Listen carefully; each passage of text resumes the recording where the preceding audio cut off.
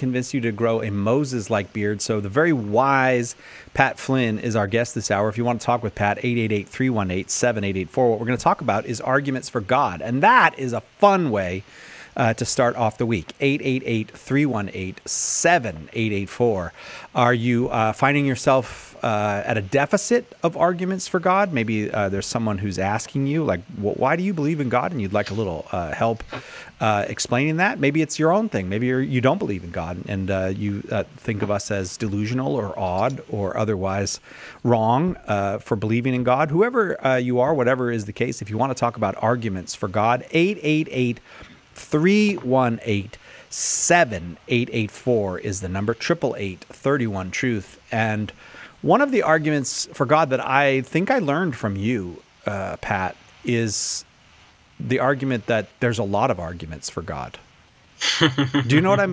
the argument for the argument from so many arguments. We call that. Is that what you call that? Really? Because it's actually it's not. I didn't invent it. Other people have. It's actually that, quite convincing to me. I thought, well, there's one way, one strategy of of because I actually think the truth is, uh, a lot of times people say, "Why do you believe in God?" I end up kind of you know doing my Christian testimony kind of when they say sure. that.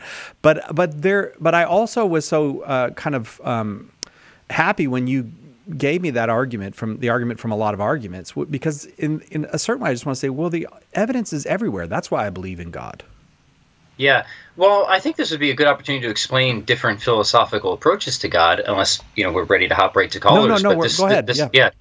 Yeah. So you know, in traditional or perennial philosophy, especially Aquinas, you often have what are called these metaphysical demonstrations or proofs, and they start in what's called philosophy of nature or metaphysics. They're just trying to carve reality at its joints and make sense of various experiences, like what is change or how do things endure over time? And they come up with all these metaphysical principles. And then ultimately, at the end of the day, they think that to sort of make sense of the whole system, to make sense of why anything changes, or how there's identity through change, or how there's composite things, whatever. There's a lot of different, I think, avenues to God. They're going to say the necessary condition to make sense of all of that is a is is a being that sort of is radically distinct from all those things that require an extrinsic explanation right? So all hmm. changing things ultimately have to be cashed out by something that's fundamentally unchanging.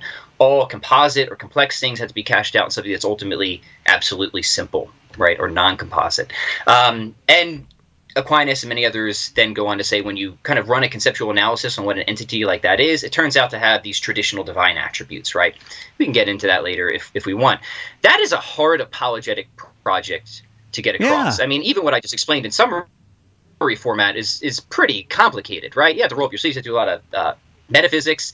Most people probably think you're talking about metamucil, if you even bring up that word, right? So it's not the the best apologetic. I think it's really interesting, and I think at the end of the day, the, a lot of those arguments are sound. But I think a better sort of everyday approach is say, hey, I've got a lot of different reasons for why I believe in God. I think just as a sort of fundamental explanation, God makes sense of a very wide range of experience. God helps make sense of why there's any contingent things at all, things that are but don't have to be. God helps to make sense of why there's any conscious beings, why there's any beings capable of rationality, why there's religious experience, why there are near death experiences, uh, the laws of logic, uh, the uncanny applicability of mathematics. Uh, the historical data surrounding the rise of Christianity. I mean, the list goes on and on. I actually think God explains a, a lot of stuff that stands in need of an explanation.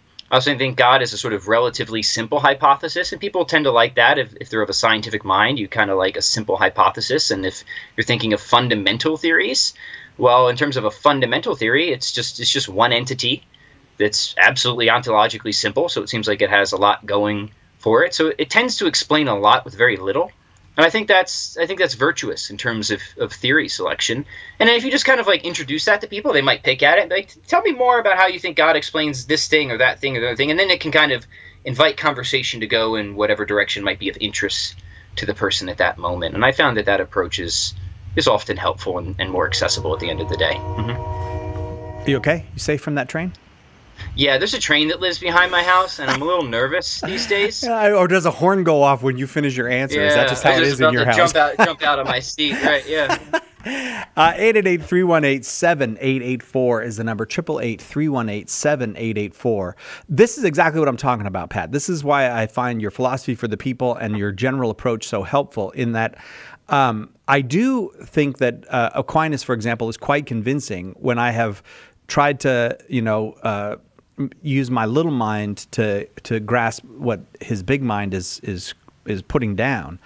But right. I don't have any confidence that I could ever use that uh, successfully in apologetics or evangelization or in any other practical way. I mean, unless it was the most good willed person in the world listening to me and maybe, maybe even helping along, I'm not going to convince anybody using uh, Aquinas's five proofs. Yeah, I think I think so. May, like maybe you could get off a summary of like the third way or something like that. But uh, I think I think rather the way to position it, and this is just for some general advice, is apologetics. Uh, you you mentioned your testimony, so I think that's good. I kind of have a philosophical testimony. You know, I was a naturalist and atheist for many years, and I just started to have problems with that world. I realized that I don't think these the explanations that are given for various things that I think need to be explained are ultimately any good, and there are all these philosophical puzzles and problems I was struggling with, and it led me to consider certain schools of philosophy, at least in a deeper sense. You know, I was vaguely familiar with a lot of these figures in a superficial way, but to go back and say, okay, what did what did Aristotle really think? You know, let me try and really wrestle with him, and then you know, you get up to Saint Thomas Aquinas and Thomistic thinkers, and I realized they give you a, a picture of reality that is very systematic. Whatever else you want to say about Aquinas, I mean, he he connects everything, right? He connects his theory of being to ethics to aesthetics yeah, right? right. And it's all very practical and it's all very beautiful. So i think that's another that's another like point in its favor. Like every you have this coherence in, in this worldview things sort of hang together everything links up really nicely. Now maybe it links up really nicely and it's all false right? But just the fact that it links up really nicely was something that attracted me. I liked that how Aquinas thinks about fundamental issues of existence has something to say about how we should behave ethically. Like it just it, that just that's nice. Whereas if you look at a lot of modern philosophy, it's a lot of the projects are very piecemeal, kind of pieces are just kind of pasted together arbitrarily. It doesn't seem like one piece really hangs together nicely with another piece or eh, one area of philosophy informs another area of philosophy. It becomes very disjointed. Aquinas's approach is not disjointed. And i'll just kind of explain that to people what attracted me about the thomistic system and then let the conversation naturally evolve. If they want to go a little bit deeper i'll try and give a little bit more. But i think you're definitely right side that if you just try to like ram through I don't know an argument for motion and try bring out the act potency distinction and the principle proportionate causality and all that. It's just it's going to be a train wreck as I look over my shoulder. Right? Yeah. oh, we're praying for no train wreck uh, during this hour. Uh, Pat Flynn is our guest coming to us from Wisconsin now. Uh, Philosophy for the People. You should check it out uh, making uh, difficult thought easy and even fun. Uh, that's their goal over there, and they do a great job of it. Uh, if you want to talk with Pat, you can call right now, right here, 888-318-7884. Uh, by the way, you don't if you don't agree with us, if you think no, this is this theism or this belief in God is a relic or is not logically supportable, we'd love to talk with you as well. You're very welcome here. 888- 318 7884. I have to take the first break, so a couple callers on. I just ask you wait through this break, and then we'll get you on with Pat Flynn right after this on Catholic Answers Live. Catholic Answers Live. Underwriting for Catholic Answers Live is provided by Real Estate for Life. Real Estate for Life connects homebuyers and sellers to real estate agents while supporting pro life organizations on the web at realestateforlife.org. If it's central to the faith, you can find it on EWTN Podcast Central, featuring the best of EWTN radio, as well as faith filled podcasts from our friends and affiliates across the nation, all in one place, all free. The destination for great Catholic audio programming is EWTN Podcast Central. It's like podcast heaven. Visit EWTN.com slash radio slash podcasts today.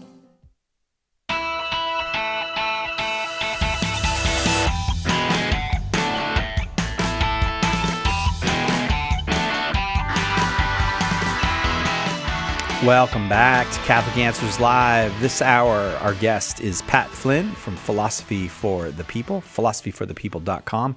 Uh, if you'd like to talk with Pat about arguments for God, 888 318 7884, 888 318 7884. Uh, I do want to, before I go to those callers, I, I, do have to let you know about the School of Apologetics uh, spring enrollment drive. All of our courses are 50 to 65% off, and they really will help you grow as an apologist. Uh, whether you're explaining the faith to the kids or to the parents or to uh, anybody else, uh, these courses will be very helpful. Instructors like Jimmy Akin, Karlo Broussard, Trent Horn, Steve Weidenkopf, Tim Staples, Chris Check. Uh, you know you're getting good stuff. Just go over to shop.catholic.com to get started and get yourself 50 to 65% off the courses in the School of Apologetics right now. That's shop.catholic.com. Pat Flynn, our guest, does philosophy all the time. Uh, on the internets, uh, as Pat was mentioning, not always a believer himself. What would you say you were a, a naturalist or a materialist, or how would you call yeah, it? Yeah, yeah, yeah. That's that. That's right. So my introduction to philosophy in high school was really through the old atheists and existentialists, and that pulled me into a naturalistic worldview for some time. Now, naturalism is uh, a, a, very loose term, um, but mine was, uh, I would say, towards a materialist, uh-huh. physicalist type of perspective. Um, and then, yeah, I, I, came out of that. And then I kind of floated around as a general agnostic, came to belief in God and classical theism, and then actually spent a fair amount of time in the camp of religious pluralism side, where I uh, was kind of attracted to various uh, thoughts uh, in Hinduism. I actually have a very close friend that is a Hindu, so it was interesting to explore um, books like Aldous Huxley's Perennial Philosophy, you know, where, where they kind of say like, hey, all religion is true and false in a sense, right? It's it's true that all religions are kind of groping towards something transcendent, but they're all false in their specific claims, right? So just pick whatever one does it for you. Uh, and what moved me out of that was just coming to consider the real historical credentials of Christianity, and I think the explanatory power actually of the Catholic Church as well. Um, it's an so, amazing yeah. story, uh, but uh, but certainly not a unique story, uh, Pat. Many, no, no, that's many people uh, told a million times. Yeah, mm-hmm. yeah, be, uh, because the truth is beautiful and it's attractive, and and we have the beautiful and attractive Pat Flynn here to prove it. Just check out his beard and you will agree with me. 888 318 7884. All right, Pat's in Wisconsin, he said, and now Aaron's in Wisconsin as well, listening on Catholic.com. So it'll be all Wisconsin show for a minute here. Aaron, go ahead with your question for Pat. Hey guys, first time caller here. Um, just wanted to get your take on like a two part question. Um, do you think that atheism leads to nihilism? And do you think that, uh, or why, why do you think so many Christians seem to be falling into nihilism today? Okay, good question. Well, we should in- introduce the concept of nihilism. And generally, generally, nihilism refers to the denial that there's any sort of objective moral value or meaning or purpose to the world. And by objective, we mean it's like attitude or stance independent, that things really are valuable or good or meaningful, regardless of how I feel about them, right? So the nihilist would say there's there's none of that stuff, right? Uh, that that anything that we think is valuable, it's it's only valuable well because we think it's it's valuable. Things are good. Um, uh, they have their goodness just because we desire them. If they, we stop desiring they wouldn't be really good or something like that, right? And then there's also not just moral value, there's also moral duties and obligations. We think that even if I don't feel like doing something, uh, I have an obligation to do something in certain situations or even refrain from doing something in other situations. A, uh, a nihilist would, would deny there's any such thing as objective, universally binding moral obligations either. Now, the question is does atheism lead to nihilism? And it's, it's funny, so you asked me at the beginning of the show of reasons I believe in God. And one thing I didn't mention is I think our moral experience is another kind of data point that needs to be explained. Like we do tend to speak and act as if things really are inherently valuable and that we really are under certain moral obligations and, and stuff like that. Uh, and I think that's something that needs an account. Now, can can atheism account for it? Well, I think it's worth noting that many atheists, naturalists specifically, historically and today, are nihilists. And the reason they're nihilists is that it seems like something like a nihilistic picture sort of flows from the the grand story of atheistic naturalism. The grand story is something like this, right? You have the beginning of the universe, whatever that was, whether the universe is eternal or began at the Big Bang or a multiverse or something like that. And then you have atomic theory and evolutionary theory and just recombination of material bits. And eventually you get us after the primordial soup and, and evolutionary forces and stuff like that. And pretty much everything about us is. Um, shaped by such evolutionary forces, right? The kind of fight for survival, including our beliefs. And that would seem to also include our moral beliefs. Uh, so it seems like for the atheist, a very simple way of trying to explain our moral uh, beliefs and behaviors is in terms of pure utility or survival value. Uh, and that's it, right? That it doesn't link up to anything beyond ourselves. That we sort of fall, form these false but useful beliefs because they were just useful in avoiding bears and getting dates or something like that, right?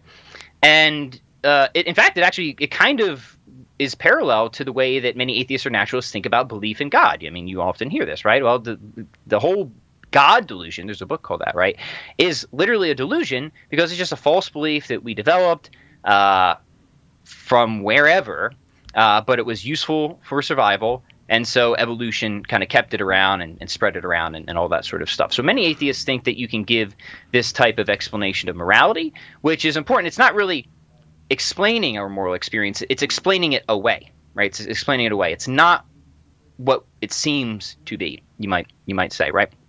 And uh, yeah, that seems like a pretty nice, lean, uh, hypothesis and theory, it's got a lot going for it, except for that it's false. I mean, clearly some things are objectively wrong.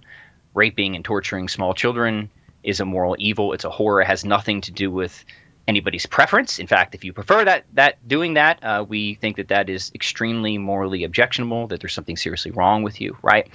Uh, so I think taking a nihilistic perspective on morality leads to such a sort of re- repugnant reduction to the absurd that it should cause you to go back and question whatever starting point led you to that conclusion.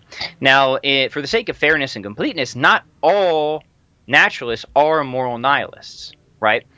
Uh, or, or, not all of them are moral error theorists is another way of, of explaining it. Some of them do try to make sense of our of objective morality. How could you have a sort of uh, objective moral framework without God in the picture. And there's some, you know, there's some clever accounts out there. Uh, some try to kind of go back to Plato and say, hey, maybe we could borrow like uh, Plato's realm of forms and have these kind of abstract objects help us ground moral facts and, and moral obligations and, and, and park it in reason and stuff like that.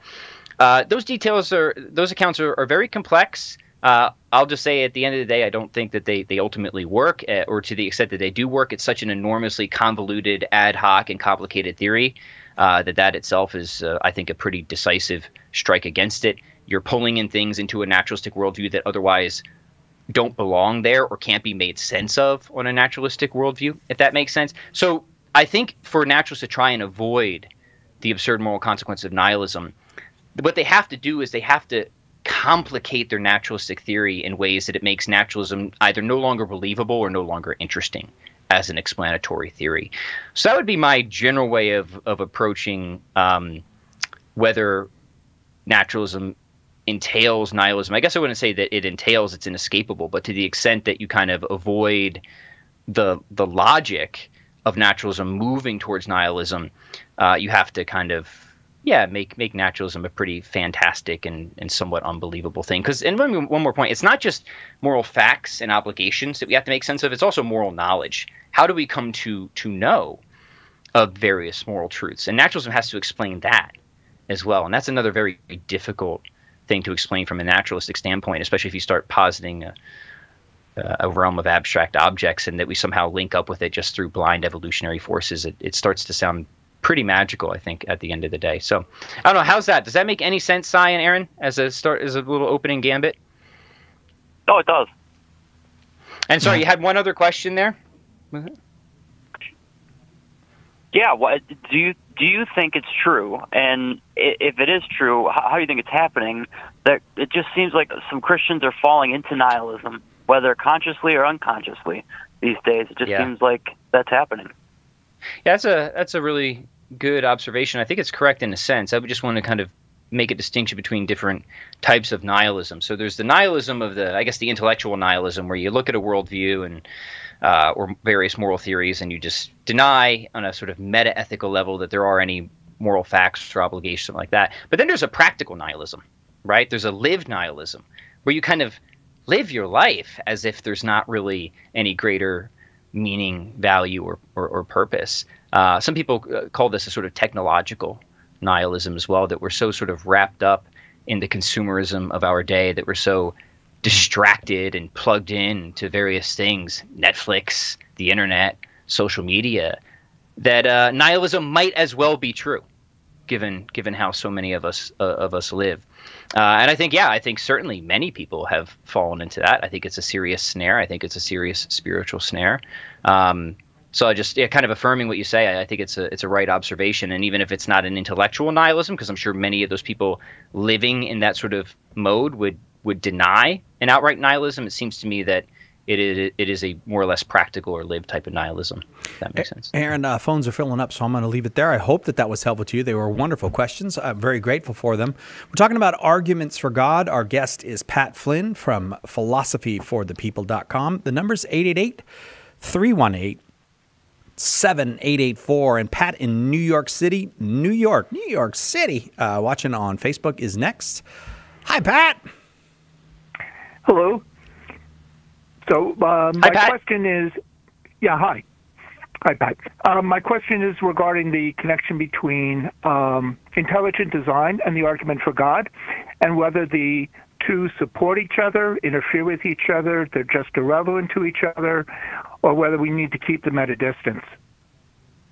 Yeah, great question, Pat, and great name. So, intelligent design. Uh, it's a it's really a community. It's it's a camp of, of different thinkers who have different different arguments. Um, it's not a school that I've spent a huge amount of time in. The one I'm most familiar with would be the account of Dr. Michael Behe, who originally authored Darwin's Black Box and Edge of Evolution, and most recently uh, Darwin Devolves. And your question was, what is the relevance of intelligent design for the existence of God and against evolutionary theory? So, yeah, let's let's analyze this. This is this is a good this is a good question. So, first off, most proponents of intelligent design are not arguing specifically for God. They're arguing that something in nature, say the bacteria flagellum uh, or various other molecular machines, if you're Michael Behe, exhibit uh, a sort of complexity, an irreducible complexity, that cannot be adequately accounted for by unguided evolutionary forces. Unguided is, is the key word, right? So we need some sort of intelligent agency that can account for the purposeful arrangement of parts and stuff like that to um, to give an actual adequate explanation of this. Now, I'm not endorsing any of these arguments right now. I'm just trying to to report them. However, Behe and other people will say um, even though they are arguing for an intelligent designer, that's not necessarily an argument for God. Now, as it happens, most of them do believe in God. Many of them are Christians, but they're willing to entertain for the sake of neutrality, I suppose. Hey, maybe it was aliens. Maybe it's a committee of gods. You know, if you have a committee of gods, maybe that explains the camel. I mean, how else do you look at that thing and think that wasn't the work of a committee or something like that. Um, so they're kind of neutral on on on you know, getting moving from an intelligent designer to the god of Christianity or classical theism or something like that. They're they're mostly just interested in arguing against naturalistic evolutionary theory as being explanatorily adequate. Now, where I think it is relevant, if you pursue this line of argument, comes from a line from a philosopher uh, named Alvin Plantinga. He actually, in one of his books, Where the Conflict Really Lies, I hear the music coming, so why don't I pause right there and we'll pick it up on the All other right. side, if that's right. Uh, Pat in New York, I hope you can hang on. Pat in Wisconsin will continue his answer right after this. Catholic Answers Live, 888 318 7884. Talking arguments for God this hour with Pat Flynn. More of that right after this.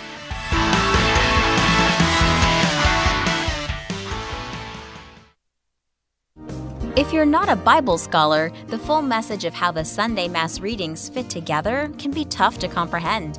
Apologist Karlo Broussard is here to help. Join Karlo every Friday for the Sunday Catholic Word podcast. In each episode, he unpacks the scripture readings for that Sunday and brings them all together so you can better understand and defend the faith. Visit SundayCatholicWord.com to subscribe That's SundayCatholicWord.com. If you're not a Bible scholar, the full message of how the Sunday Mass readings fit together can be tough to comprehend. Apologist Karlo Broussard is here to help. Join Karlo every Friday for the Sunday Catholic Word podcast. In each episode, he unpacks the scripture readings for that Sunday and brings them all together so you can better understand and defend the faith. Visit SundayCatholicWord.com to subscribe. That's SundayCatholicWord.com. Want to know more about the origins of the Catholic Church? Joe Heschmeyer explores the beginnings of Christianity in The Early Church Was the Catholic Church. Joe digs deep into the words and actions of those who lived right after the apostles to refute anti Catholic claims of how the faith was lived back then. Order your copy of The Early Church Was the Catholic Church today at shop.catholic.com or get it at a good Catholic bookstore near you. What if the voice of your deepest doubts about Catholicism rose up in the form of a human being and challenged you to defend your most foundational beliefs? That's the task apologist Trent Horn took upon himself in his new book, Devil's Advocate, a dialogue with his own best objections against the faith that he professes and defends. You can stand up against your doubts, and Trent will show you how. Pick up your copy of Devil's Advocate today at shop.catholic.com or at a good Catholic bookstore near you. Tomorrow on More to Life, difficult discussions. Are challenging conversations wearing you down? We'll help you navigate conflict gracefully. That's tomorrow on More to Life. Now back to Catholic Answers Live.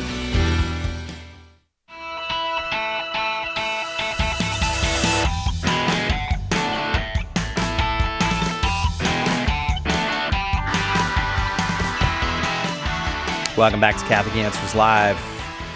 Our good friend Pat Flynn is in Wisconsin. Uh, he's uh, the, one of the two proprietors of Philosophy for the People, and you should check it out, making hard thinking easy and fun and all that.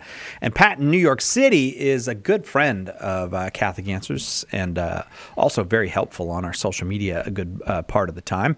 And uh, Pat in New York City asks about intelligent design and its relationship to belief in God, if there is anything.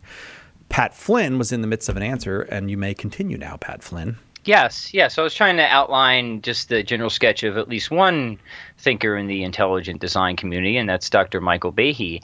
And I was getting on to where this might be relevant in the wider debate between, say, theism and naturalism. And I brought up Alvin Plantinga. He's got a really nice book called Where the Conflict Really Lies. Um, and he's looking at whether there's a conflict between science and religion, and ultimately he's saying the real conflict substantially is actually between science and naturalism. But one point he brings out in that book is that for the naturalist, sort of evolution is the only game in town. Like this better work as an explanation, or naturalism loses a lot of explanatory gas. So where intelligent design arguments become relevant is if they're good arguments, and we could talk about whether I think they are or not if we want to do a follow up question, is they would take a lot of steam out of this this theory that's doing a ton of explanatory work for the naturalist, right? And if this is the only game in town that the naturalist has, that's bad news for them in the kind of grand scheme of things in terms of comparing uh, paradigms, fundamental theories of everything. Because for the theist, and this is something Alvin Plantinga points out, is that the theist can sort of be neutral to evolution, right? You know, if God wanted to bring about life through Darwinian processes, no big deal. If you wanted to do it some other way, that's fine too. So uh, evolution, I think, properly understood, is is certainly not a threat to a theistic worldview. But for the naturalist, it's a sort of thing. Well, this better be able to give us the sort of explanations we need because if this doesn't work, uh, we might be out of luck in terms of explaining a lot of things that need to be explained. And in that sense, intelligent design is kind of going right, right for the heart of the matter. That if their arguments are good, it's um, and I think that's I think that's probably why people in intelligent design have have gotten a lot of um, heat thrown at them. Uh, I will say that you know um, I think they've been treated a bit unfairly. Uh, in in few other circles do you see people uh, really uh, drag through the mud, even by people who should uh, you know, be a bit more respectful of other. I mean, you see professional philosophers saying really awful, slanderous things about people like Dr. Michael Behe, who is a man trying to make an honest argument and is backing it up with what he argues is the best of our contemporary scientific knowledge on the matter. And he's frequently dismissed uh, via personal attacks, call you know attributed beliefs to him that he actually does not believe. Um, and I think uh, what what why is I've always wondered why is that happening? Well, I think that a lot of naturalists might realize that his his project is a real threat to their entire paradigm, and it's a threat in a way that is very accessible for people to grasp. So, unlike Aquinas's metaphysical, you know, arguments, which I think are a threat to naturalism, it, it, they're hard to grasp. They're not really intuitive or accessible. But an argument from irreducible complexity, when you bring out the bacteria flagellum and, and show all the different coordination and how the everything has to be arranged just show, so and shaped just so before you get any functional utility whatsoever, it presents a really vivid initial and strong case against the naturalistic theory of evolution as being explanatory and adequate. And I think people kind of get that in their gut, and it's stuck with a lot of people. And I think that's you know generated some unhelpful emotional responses from people who should be a bit more professional in the way they respond to other thinkers. But that's of course just armchair speculation at this point. Uh, Pat in New York, uh, what do you think? Yeah, um, that that's an excellent summary. I, I think the way I summarize it to the people who ask about it in RCIA is the argument for God ultimately is a philosophical one, and and we take that, you know, we can take that very personally. But the mm-hmm. intelligent design proponents are saying we're running experiments and and we're looking at things under microscopes, and and there's more um, of a there's less philosophy and more science in intelligent design. And I completely agree with Pat that this is a real threat to the you know the established order. Yeah, I, I, and I, if you just want my opinion on it, I think I think that's right. I think there are certain arguments. I, I wouldn't endorse the whole community because I'm I haven't read all of the work, but in the work that I have read and studied and, and looked at the counter counter arguments and and uh, differing positions, I would say Michael Behe's is something that deserves attention. It deserves to be taken seriously. Uh, and yeah, that's what I'll say about that. Mm-hmm. Pat, uh, thanks for the call. For Pat, uh, yeah, all, thank you, Pat. My lines are pretty full, so I'm going to keep moving. Uh, uh, but thank you again. Uh, let's go to Ivy in South Carolina, listening on 106.7 FM. Ivy, glad you're here. Go ahead with your question for our guest, Pat Flynn. Hey, um, so my question was I, I tuned in around the time you were talking about thinking that God is a very almost Occam's razor answer to a lot of questions, which I would agree with. But I do wonder why you would say specifically the, the Christian God, the, the Abrahamic God, and not any other alternative God. Yeah, that's a great question. It's a question I asked myself as well because, as I don't know if you heard this part, Ivy, but for many years I uh, I parked out in religious pluralism, so I wasn't committed to any God of um, associated with a religion that claims to have special revelation or something like that. So I thought there was some transcendent principle, you know, broadly in line with traditional theism, but I wasn't committed to Catholicism like I am now. And there's a couple of different ways to approach this, uh, but I'll explain how how I approached it. Um, first is just I think I think there is a strongly credible case to be made for Christianity from historical research uh, for to try and explain how did these beliefs originally arise arguments from the reliability of the Gospels. I have good friends who are specialists who uh, focus on this type of research and making a sort of cumulative case um, based around this historical data that the best explanation for it is just the traditional Christian explanation that the incarnation really occurred, the resurrection really happened, and that Christianity is true. Um, but that isn't the only thing uh, that moved me. Um, it was sort of a wider, I'll, I'll try and zoom out as, as much as I can. It was sort of a wider array of many different converging considerations. A lot of it was philosophical. So I think you can make various arguments for God uh, that specify classical theism, a God that is absolutely transcendent, completely simple, whose essence is its existence, and is ultimately goodness itself, right? And then you can look at the world, and I think you can deduce very quickly that something's sort of gone wrong with this world, right? That we've sort of fallen away from God something broken about this world. Even the pagans really kind of had this notion of something being wrong in a vague sense that's uh, familiar of original sin, right? And then you can you can ask, well, given that that's happened, what are what what's the likelihood that God would try to correct that? Right? That God would try to do something about that, right? Uh, what is the likelihood that God would try to return us to Himself in some way, or to restore the the proper order of the universe, or, or what have you, right? And I think once you kind of have uh, a prior commitment of God, a philosophical commitment of God, and you just look at the world and and realize that it is there's something fundamentally screwy about it. Something like the incarnation and resurrection starts to make a lot of sense, right? And it makes sense in a in a very philosophically interesting way. That it's not that God just sort of, you know, snapped his metaphorical fingers and just righted everything by way of miracle, but he entered into creation to bring us back into union with himself by literally uniting himself uh, or pulling a human nature right to the to the second person of the Trinity.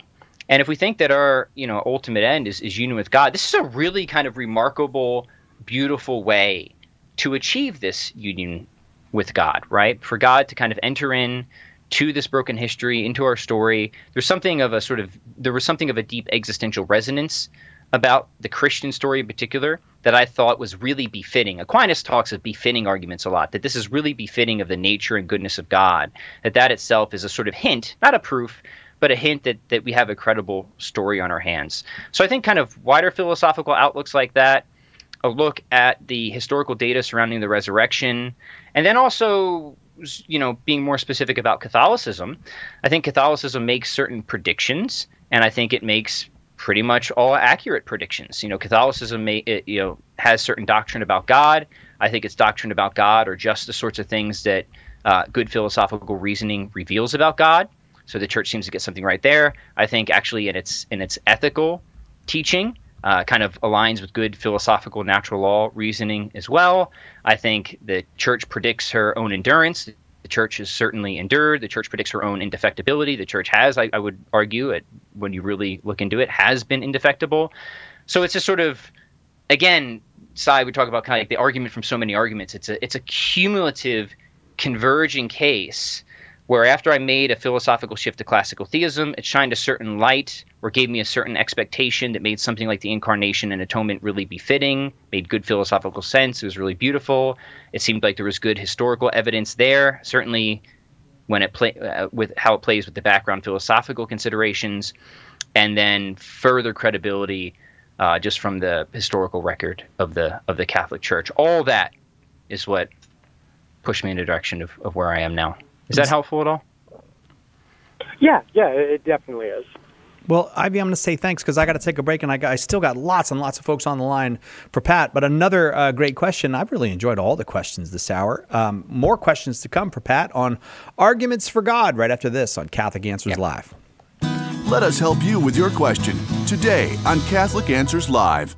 The most original and exclusive Catholic content is on EWTN Radio.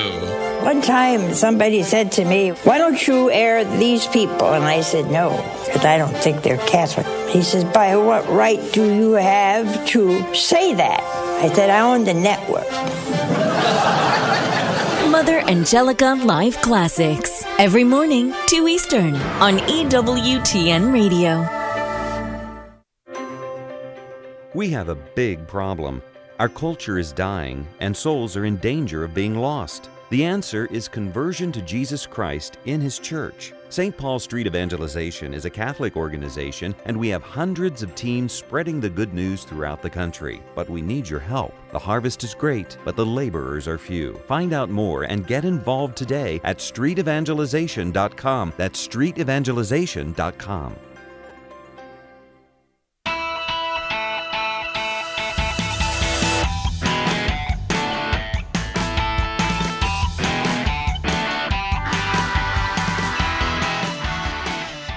Welcome back to Catholic Answers Live.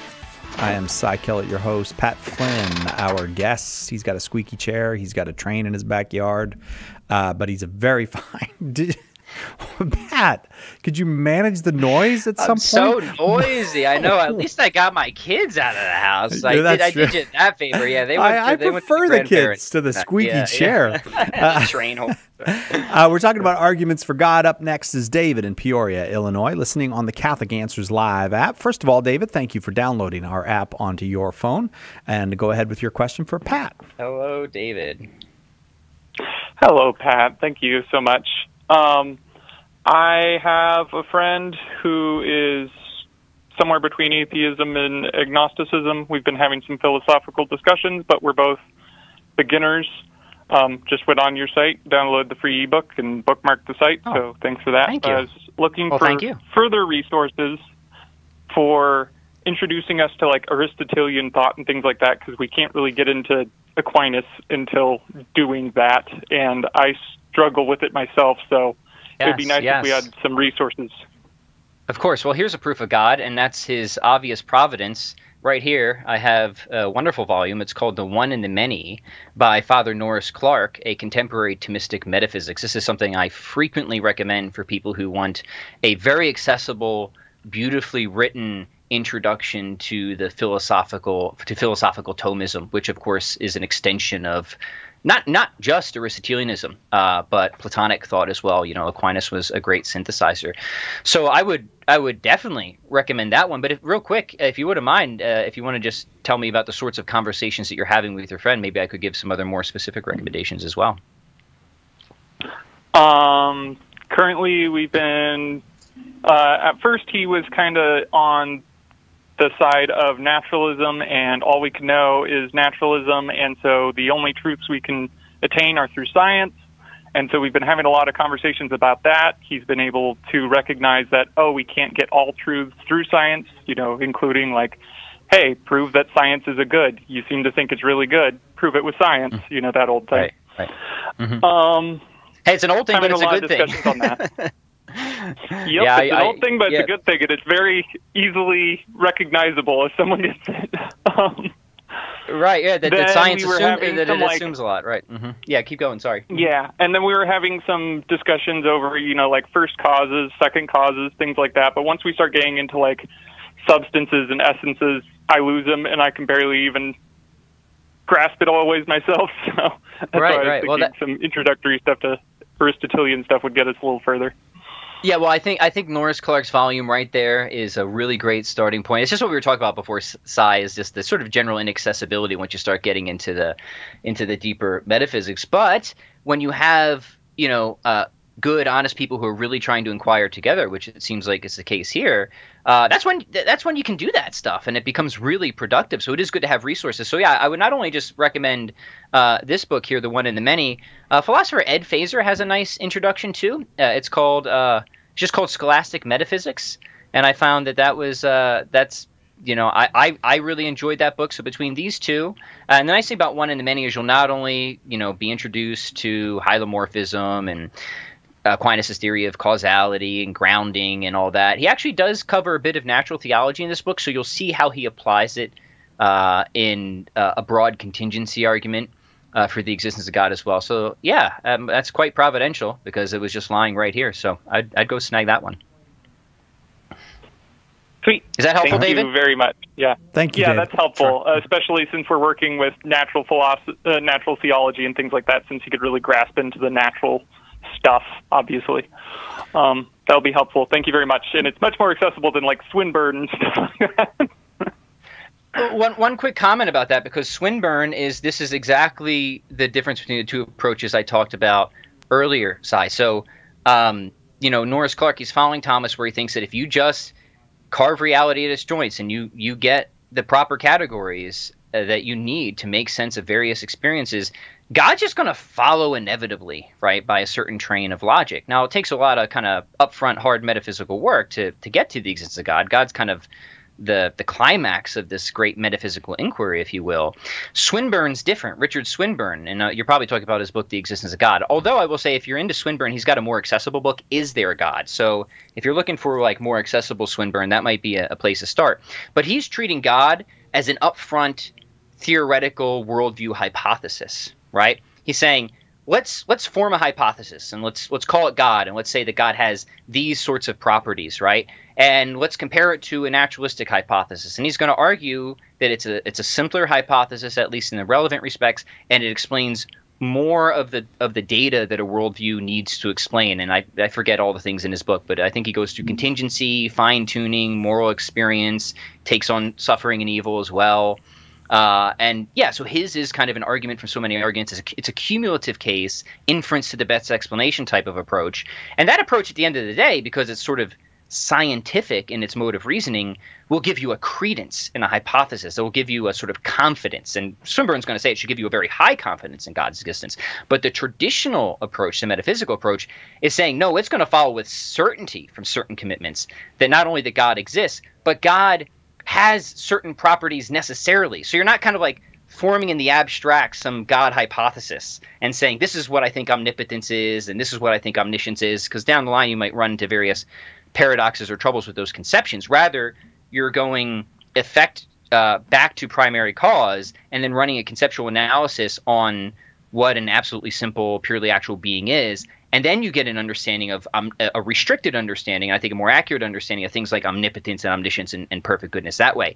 So the traditional approach, I think, has the advantage of giving you more confidence a potential certainty in the existence of God, but also gives you, I think, a, a, better conception of the divine nature as far as we can can grasp it. Of course, Aquinas would say we can't comprehend the divine nature, but we can say true things about God. That He is absolutely simple. We can talk about God's omnipotence, not in the sense that God can just do anything, uh, but in terms of what's producible. Aquinas thinks of omnipotence in terms of producibility. God can produce anything that it is po- you know is logically possible to produce and stuff like that.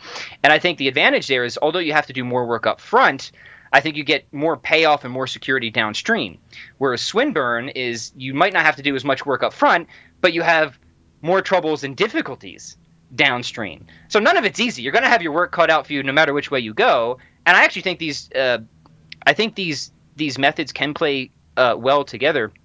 And this is actually the focus of my upcoming uh, book that I have, hopefully due out this summer, is that I think you can form your hypothesis and really demonstrate God's existence with the traditional approach. But then you can use a Swinburne type of methodology to then go and show how explanatorily fruitful it is as well to get additional confirmation if you think that's needed as well. With the with a tighter conception of God, with the hypothesis being formed from the the prior metaphysical approach. Sorry, I just unloaded a ton. I didn't mean to. I kind of went into a spasm. Forgive me. I hope it was somewhat spasm. helpful. Uh, yeah. All right, Mhm. David. I'm going to leave it there uh, because uh, there are a couple more uh, folks who would like to talk to our guest, uh, Pat Flynn, before he goes. But thank you for that call, David. Johnny's in Warren, Michigan, uh, listening on TuneIn Radio. Johnny, go ahead with your question for Pat Flynn. Good, good evening, Pat. Good evening, Cy. I talked to you before, Cy. How are you? Very well, Johnny. I'm glad you're back. Thank you. Yeah, I just wanted to let Pat know that I, I believe in God because I'm born with a hole in my heart. I've had two open heart surgeries, and um, one of my grandfathers was a Jesuit donné back in the 17th century. I found out. So w- wait, who was who, was back in the 17th century, Johnny? Say that again.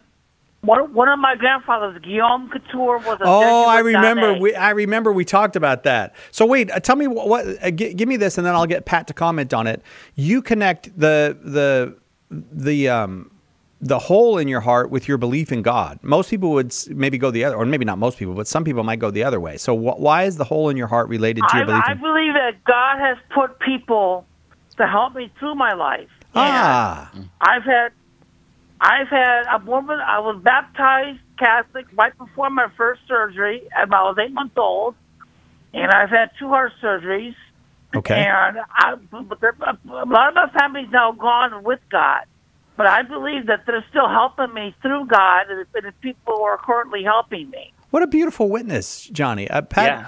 Uh, do you have? I, I just want to see if Pat has a comment on that, or, or we'll just leave. it. Yeah, I s- certainly do. Well, well, God bless you. And you know, as much as I talk about arguments for the existence of God, I actually don't think you need arguments to be justified in believing in God. And I think there's actually a lot of reasons why you don't necessarily need arguments to be justified in believing in God. So I think it's uh, I think it's a beautiful testimony. I think it actually relates. Cy, you kind of brought up, you hinted at the problem of evil there. Some people would, you know, maybe look at this condition and say, how is that compatible with an all good? We're all loving God, and there's a lot that could be said about the problem of evil, and maybe we could do a whole episode on it. Um, maybe we have. I forget, Cy. We've had a lot of conversations before. Um, but you, but Johnny, you mentioned something beautiful that you know, uh, and I think this is a deeply Christian insight that our suffering, while it is conducive for us if we respond to it appropriately, right? It might not be just for us, right? Our suffering can be for the good of other people as well. And you know, God can God is is is is such a wonderful governor and creator that he can ensure that your suffering while it is it sets the conditions for some greater good in your own life. And fundamentally god's concerned about curing a spiritual cancer right? That's that's that's what god's concerned about in us right? He can also make it the case that your suffering pro- provides the conditions for greater goods in other people's lives as well. Expressions of empathy compassion caring mercy forgiveness, all those sorts of things. So I just wanted to highlight that's, I think, an aspect of the problem of evil where, yes, we definitely want to say that God will permit suffering to us insofar as it sets the conditions for some greater justifiable good. But it doesn't have to be just for us either. And I think that's important to keep in mind. Uh, Johnny, I got one more caller I want to get on, uh, so I got to let you go. But I'm very grateful for the call. And if you would like a copy of Jimmy Akin's book, The Words of Eternal Life, I'd like to send it to you. I don't know if we've ever sent it to you, but hang on the line and Edgar will get you if you'd like a copy of that book. I do want to get to John in Massachusetts because he's been waiting a long time. Uh, so I hope you'll forgive me, Johnny. John, uh, go ahead with your question. If you can be kind of quick, then uh, Pat can get you an answer. Good evening. Um, so, Hi, John.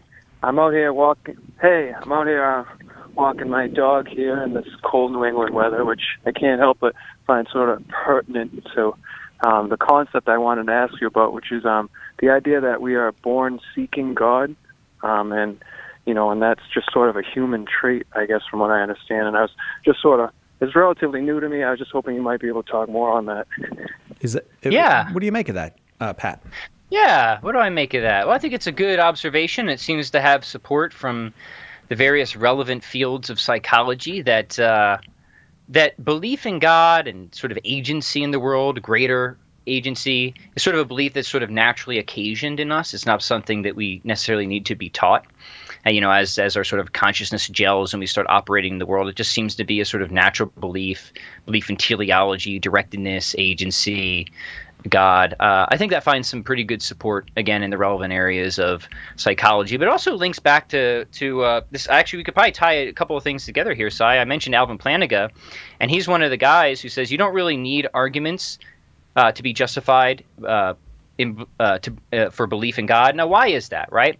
Well, he thinks that belief in God is something like belief in other minds. Whereas I believe, Cy, that you you're a minded individual like me. You have first person phenomenal experiences. You're not just like some clever android or something like that. Um, and Plantinga thinks this is a properly basic belief. It's not something that we reason up to. It's a starting point for us. We're totally well justified in holding that belief entirely a- apart from arguments. Uh, it's a belief that's just sort of occasioned in us, right, if you will.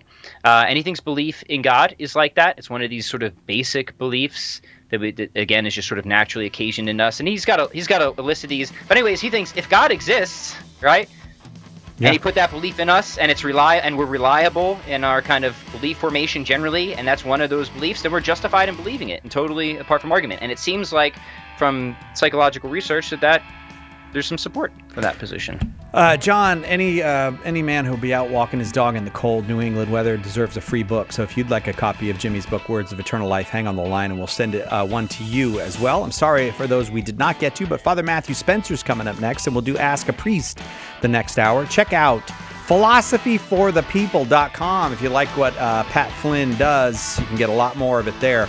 Pat Flynn, thanks very much uh, for being here. Thank you, Cy, very much. You can let the children run free again now. I'll let them out of their cages.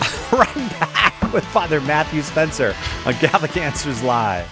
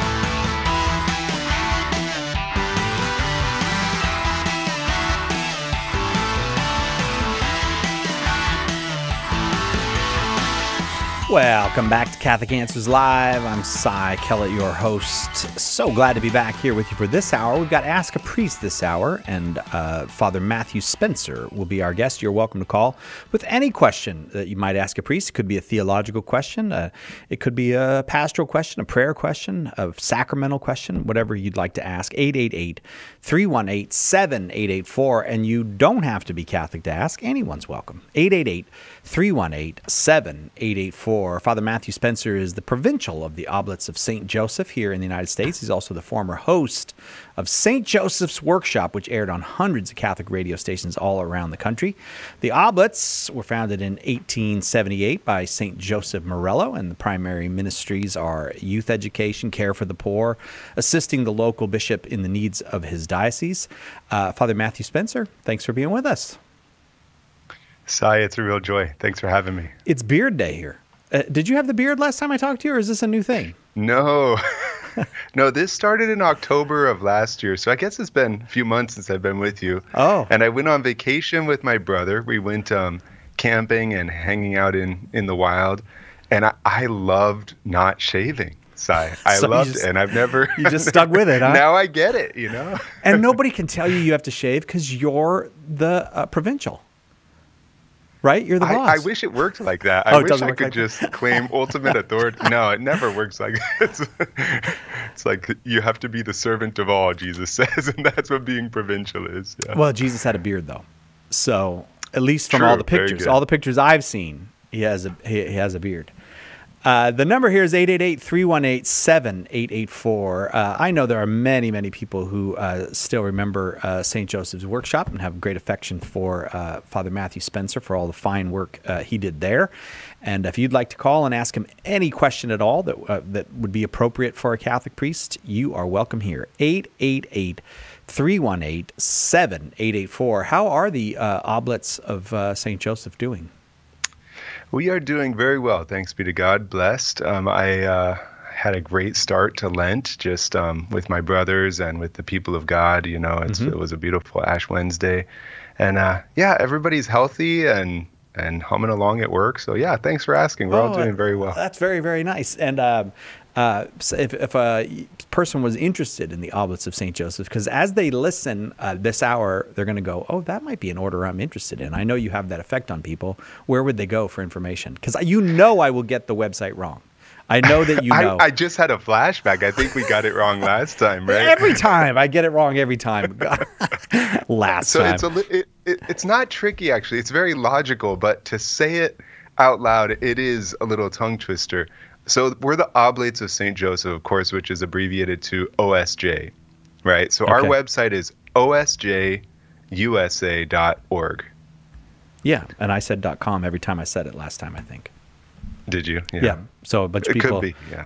a bunch of people joined the Oblates of St. James, thinking that they, they were joining the Oblates of St. Joseph. The Oblates of St. Jude, stealing all of our vocations. I know, but all those are hopeless cause uh, vocations. Go over there. Yeah, well, I guess we all need that. Yeah. Uh, what's an oblate? What does that mean? What does the word oblate mean? Yeah, the the word oblate comes from the word oblation. We hear that word used in the liturgy, of course, and that word means an offering, right? Like like a like what would happen at the temple uh, thousands of years ago. Uh, and the idea is that an oblate of Saint Joseph offers up his life as a sacrifice to God in imitation of Saint Joseph.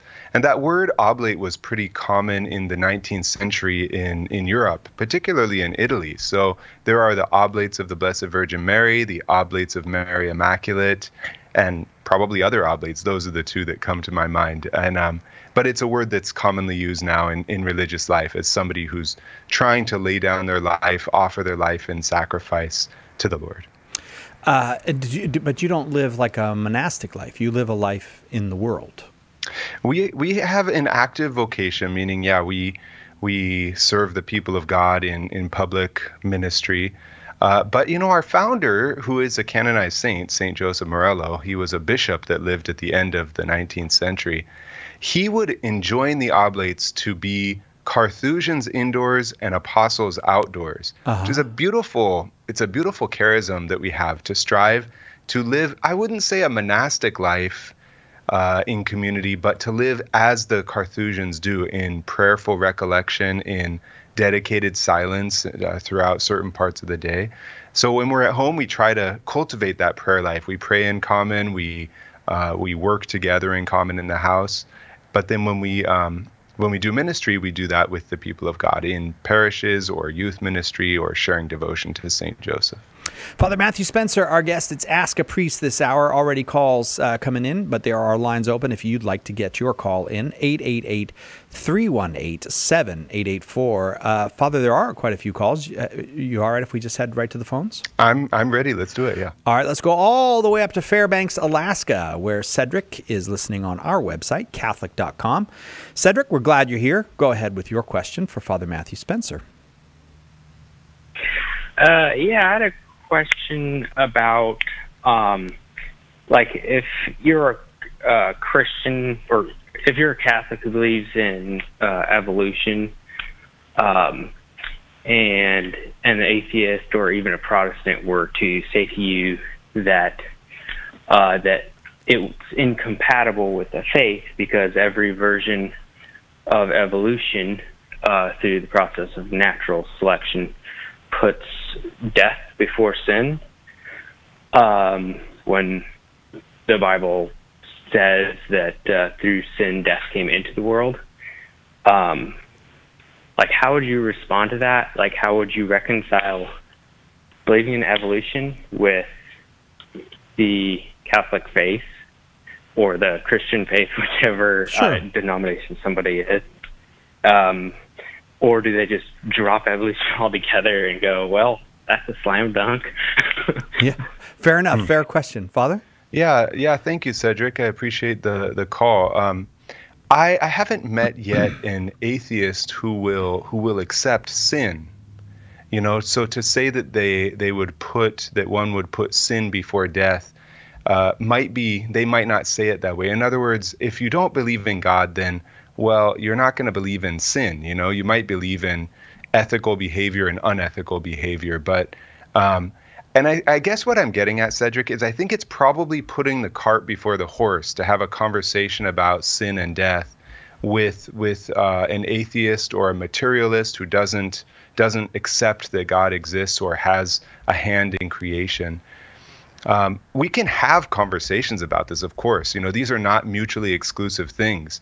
Uh, it's possible to believe in in much of evolution and yet also to have be a person of vibrant faith. Uh, but to have a reasonable conversation about it, I think you also have to have a framework. That's what Pat Flynn was talking about in the last hour. I think you know this uh, this grounding between uh, what we can agree upon in in uh, our intellect and build upon that in faith. Uh, so, Cedric, I would say um, I wouldn't have a simple answer to that question because probably the conversation I would I would think the conversation could take a different turn, such as, well, can we talk about those things that you know evolution can't explain? Those things like why do we exist at all, and what is the purpose of, of existence itself and what is love and what, what what what are the values that we hold as humans that you can't explain through natural science that way because clearly there are many things that are not explained by natural science and that are completely outside of the purview of silent science and um, and that's where I would start, Cedric. Could I just, um, uh, uh, but he also asked about a Protestant person who would share all that religious view with us in many ways, who would who might say, and we, and many do say, well, evolution can't be true because uh, if the Bible says that that there was no death before sin, that's their take. Uh, then then there couldn't have been any evolution because evolution requires death. Oh, okay, good question. That's a whole different, uh, whole different approach we can take, Cedric. And I'm sorry if you were including that as well. I would say what we do is we build upon the the foundation that we have in shared uh, in our shared faith uh, as Christians. We hold the Bible, uh, you know, as to be inspired by God. We build on that.